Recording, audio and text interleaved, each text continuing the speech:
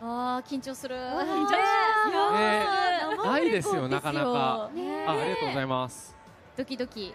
うん。え真央さん本編の映像初公開。しかはい。もここで生アフレコということですがはい。今のお気持ちはいかがですか？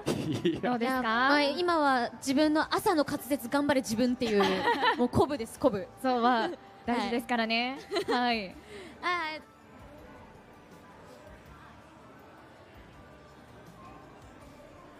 あまりこういう生アフレコの機会ってそんなにないですか？そうですね。ね。なんかイベントでねうん。やるぐらいなので。いや今日は本当に。貴重な機会です。ななんで座ってんだと思った？らそっかそうそう。出まだなの。それそうなんです。すごいなんか可愛いサイズですでは。ーね私も思いました。こんな低い？大大丈夫ですか？頑張れ。頑張れ。頑張るよ。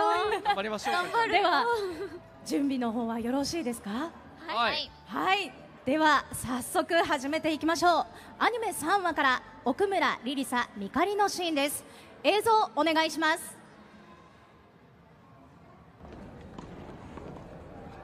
というわけで奥村先輩には私のコスプレロム作りにご協力いただいてるんです。コスプレロムそんな格好で撮影？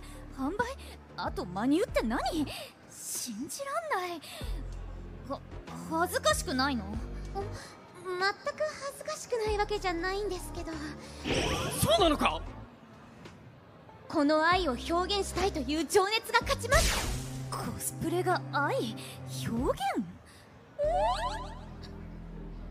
ああそういうこと！なシンプルな攻略法が！先輩がクソオタクで安心したえ？あの立花さんさっき私のことをリリエルと呼んでましたけどお好きなんですか？あぜひ一緒にコスプレしませんか？だから人気モデルがやるわけないだろやる。ううちゃ言う。え？えほらな諦め。え？やるわ。私。え？え？えいいんですか？いいんですか？お願いします。コスプレ私るんですか？怒りがやります。